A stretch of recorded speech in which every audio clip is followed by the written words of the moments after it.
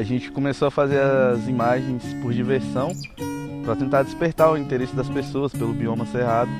E hoje a gente tem um projeto Doc Cerrado, que conta com apoio de vários colaboradores e parceiros.